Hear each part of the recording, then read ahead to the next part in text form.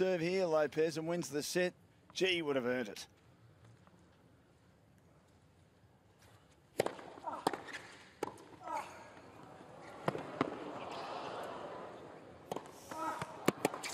Oh!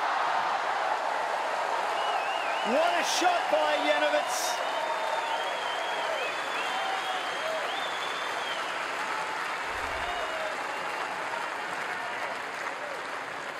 What an unbelievable get from Advantage Janowicz. But if you have a player down and out and you get an overhead, I almost said the bad words here, but that's a terrible smash. Just didn't do enough again. Break point number five.